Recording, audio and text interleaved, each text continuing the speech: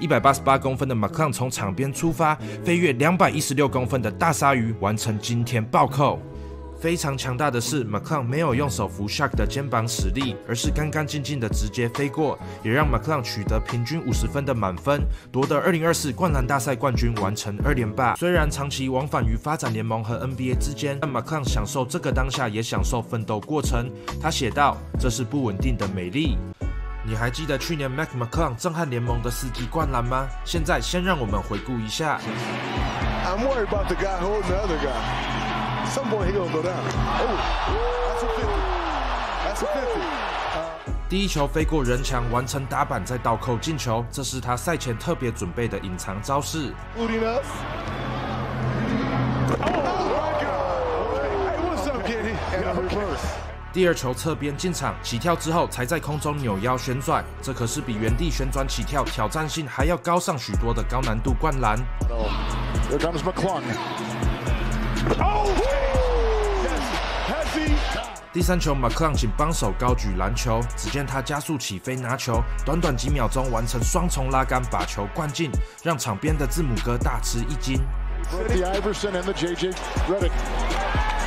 Records in the state of Virginia. Here he goes. And he's putting on the handle.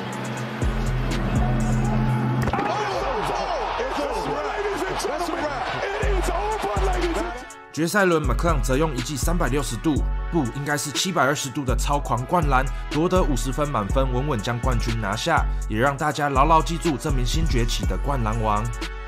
然而，在灌篮大赛的激情过后，McClung 去了哪里呢？他站稳在 NBA 的脚步了吗？很遗憾的，他还是没能留在 NBA。Yo everyone, Scary Get Tweet，二零二四 NBA 明星赛技术挑战项目今天登场，Damian Lillard 以二十六分成功二连霸，拿下三分球大赛冠军。另外，Steph 对决 Sabrina 的三分 GOAT 之争，更是纠缠到最后一个底角才分出胜负。Stephen Curry 夺得冠军，拿了一条三分 GOAT 腰带，但从 WNBA 挑战 NBA 三分线距离还能拿下二十六分，Sabrina 完完全全赢得了所有人的尊重。来到灌篮大赛，联盟再次邀请2023年冠军 Mac McClung 参赛。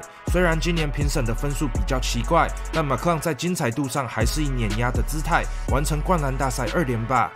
谈起 McClung 的篮球之路，从小在爸爸的支持和督促下，将家中车库改造为健身房，并一步步锻炼球技。随后在 Gate City 高中展现飙分能力，打破战神 Allen Iverson 在维吉尼亚州的948分总得分纪录，并且在 Boys Life 灌篮大赛中拿下冠军。影片累积超过300万点阅，让他当时得到不少关注。大学就读 Texas Tech，并投入2021 NBA 选秀，展开了逐梦的旅程。很可惜的是，McClung 在选秀会没能得到球队青睐，只能进入发展联盟继续打拼。这些年，他从湖人到公牛，再回湖人，一度取得发展联盟最佳新秀的头衔，更在实战中多次展现高难度灌篮，这让联盟开先例邀请他参加 NBA 灌篮大赛。而马克朗知道，他必须把握这个机会被大家看见。二零二三赛前，Shark 在场边给了他这段鼓励。Nobody, knows your name. Make them remember your name. And don't miss a dunk.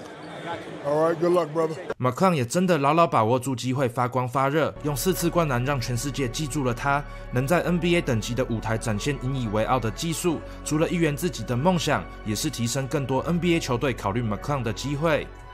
夺冠之后的 McClung IG 追踪数突破百万人，谈起成为 NBA 灌篮王后最大的改变，他说是多了许多粉丝，甚至会在场边等待要签名。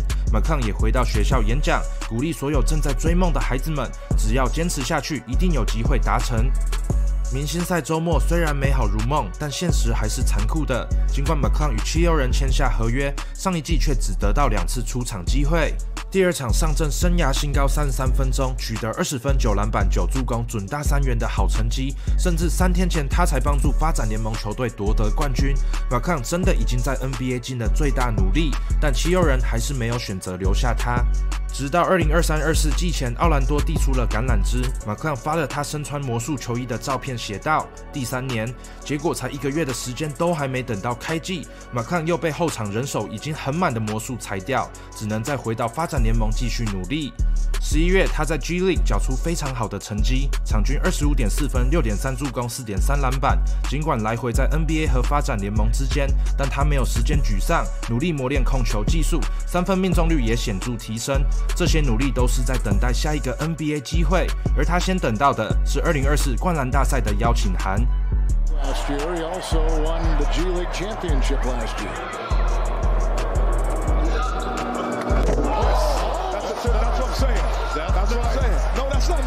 Mac Mac 当然没有让大家失望，第一球就缴出令全场赞叹的表现，不但飞跃人头扣篮，重点是在空中作业。McClung 居然把球放开再抓回来灌篮，慢动作重播可以看到制空能力非常瞎扯。但可能是因为第一次尝试失败被扣分，McClung 这球没有取得满分，甚至输给 Brown，也让转播大叹这球没满分真的太奇怪了。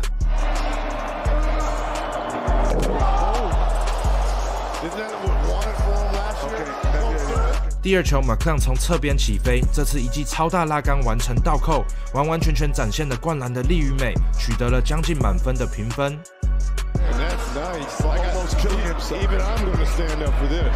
Go get it, young gun. Go get it, young gun. Go get it, young gun. He did it too easy that time. 进到决赛对上 Jalen Brown，McClung 找来两位帮手叠罗汉，而他直接飞跃双人高塔完成灌篮，超夸张的起跳高度也让全场惊呼不已。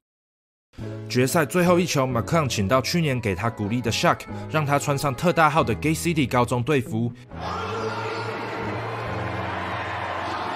，He said he was going to do two dunks that we've never seen in any other dunk contest. Well, let's see it. 一百八十八公分的 McClung 从场边出发，飞跃两百一十六公分的大鲨鱼，完成今天暴扣。非常强大的是，McClung 没有用手扶 Shaq 的肩膀使力，而是干干净净的直接飞过，也让 McClung 取得平均五十分的满分，夺得二零二四灌篮大赛冠军，完成二连霸。虽然大家去年已经认识了 McClung，今年的震撼度和新鲜度肯定会有所折扣，但还是能看到他在每一次灌篮中都非常用心的为观众带来视觉响宴，一次次展现力度以及飞行的美丽。二零二四又为我们带来了四季振奋人心的灌篮，再次写入灌篮大赛历史 highlight。今年二度夺得冠军，绝对实至名归。